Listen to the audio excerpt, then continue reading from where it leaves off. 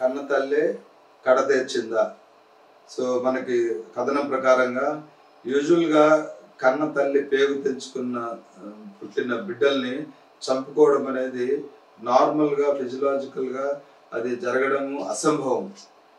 పిల్లల్ని చంపుకోవడం అది. ఏదో కొన్ని జంతువులని పాములు చంపి తింటాయని పిల్లులు చంపి తింటాయి పిల్లల ఆహారం కోసంగా అన్నట్లు జంతువుల్లో విన్నాం కానీ మనుషుల్లో ఎక్కడ మనము పిల్లల్ని చంపి వాళ్ళని చంపేసినట్లు నాకు అర్ధనగ్నంగా చేసి ఆ పూజలు చేసి ఆ నోట్లో నోట్లో ఆ చెంబులు పెట్టి డంబెల్తో తలకాయ కొట్టి చెప్పడం అంటే ఎంత కిరాతకమైన పని అది అది అసలు మామూలుగా మనుషులుగా మనం చేయలేము. కానీ ఇక్కడ మాత్రం వాస్తవం జరిగింది మాత్రం ఆ తల్లి తండ్రి వాళ్ళిద్దరు కలిసి వాళ్ళని వాళ్ళని ఆల్రెడీ ఒప్పించి చాలా కాలం జరుగుతున్నట్లయితే ఈ డ్రామా అంతా కూడా వాళ్ళంతా ప్రిపేర్ అయిపోయి మెంటల్గా షేర్ డెలిజన్లకు వెళ్ళిపోయి అంటే డిజార్డర్లోకి వెళ్ళిపోయి వాళ్ళు పిల్లల్ని నమ్మించి ఆ పిల్లలు కూడా వాళ్ళతో ఏకీపించి అందరు కలిసి కలిసి వీళ్ళకి వీళ్ళే చేశారా? అంటే తల్లి ఒక్కటే చంపిందా? లేకపోతే కొంతమంది వ్యక్తులు దీని వెనక ఉన్నారా? ఆస్తుల కోసము అంతస్తుల కోసము బిల్డింగ్ల కోసము లేదా వాళ్ళ మీద ఈర్ష అసూయులు ద్వేషాలు ఉండి ఈ యొక్క అరిషడ్ వర్గాలు ఉన్నాయి వాటి ప్రభావంతో ఉండే లోభితనంతో కొంతమంది ఇన్ఫ్లుయెన్స్ ఉందా లేదా అనేది మనం వేచి చూడాలి. వాళ్ళంటే పోలీసు వ్యవస్థ దానికోసంగా దాని దాని మీద రీసెర్చ్ చేస్తున్నారు దాని మీద కూపి లాగుతున్నారు.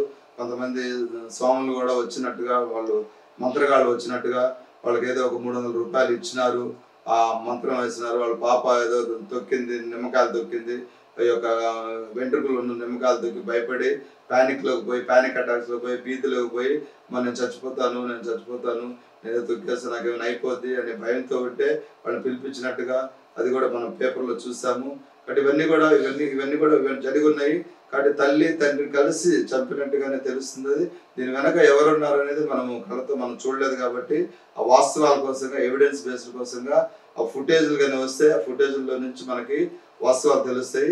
ఇది తల్లి చం తల్లి చంపినట్టు తెలుస్తుంది చంపి కూడా ఆమె చంపడం కాదు అది. దేవుడి దగ్గరికి పోతే యుగాంతం అయిపోతారు. మళ్ళీ శివుడు ఐక్యం అయిపోతే శివుడు మళ్ళీ బతికిస్తాడు. మళ్ళీ వచ్చేస్తాం మేము. మాకు ఒక ఒక- రోజు టైం ఇవ్వండి. మేము కూడా దేవుడు ఐక్యం అయిపోతాడు మేము కూడా చచ్చిపోతాము. మళ్ళీ దేవుడు మమ్మల్ని బతికిస్తాడు తిరిగి వస్తారు. ఇన్ని ఈ విధంగా మైథాలజీలో జరిగిన బాగా విని వాళ్ళు స్వామి చెప్పిన విని ఆకలం చేసుకొని వాళ్ళు కండిషనింగ్ చేసుకొని వాళ్ళ మైండ్ని దాన్ని నమ్ముకొని ఆ నమ్మి ఆ టచ్ విత్ రియాలిటీ పోయి ఇన్సైట్ లేకుండా పోయి సైకోసిస్లో మాత్రమే ఇలా చేయగలుగుతారు. కాబట్టి ఇది ఇది ఒక psychiatric major psychiatric medical disorder కింద తీసుకోవాలి దీన్ని. దీనికి వైద్యం చేయాలన్నమాట వైద్యం చేసుకోవాలి. కాబట్టి అది వాళ్ళు చంపిన మాట మాత్రం వాస్తవమే. దీని వెనక ఎవరెవరు ఉన్నారనేది బంధువులు ఉన్నారా స్వాములు ఉన్నారా లేదా వాళ్ళ వాళ్ళ యొక్క ఎవరైనా స్నేహితులు ఉన్నారా డబ్బులు ఆశ డబ్బు ఎవరికి చేయదన్నట్లుగా జనాలు డబ్బు కోసం ఏమైనా చేస్తారనేది మనం చూస్తున్నాము. కానీ తల్లిని చంపేస్తున్నారు బిడ్డలను చంపేస్తున్నారు బంధువులు చంపుకుంటున్నారు అన్న రక్త సంబంధం చంపుకుంటున్నారు మనం చూస్తున్నాం టీవీలో చూస్తున్నాం మన కళ్ళ ముందు చూస్తున్నాం. మేము ట్రీట్ చేస్తున్నాం చాలా మందిని. క్లినికల్ కేసులు ఉన్నాయి మా దగ్గర. ఎవిడెన్స్ బేస్డ్గా ఉన్నాయి. ఇది నైన్టీన్ నైన్టీ ఫైవ్ నుంచి ట్రీట్మెంట్లు ఇస్తున్నాం. కాబట్టి ఇవన్నీ ఇవన్నీ తల్లి చంపడం అనేది ఇది చాలా అబ్నార్మల్గా తీసుకోవాలి. దీన్ని మనము దీన్ని మనం చాలా చాలా సున్నితంగా కూడా ఆలోచించాలని చెప్పేసి కోరుతున్నాము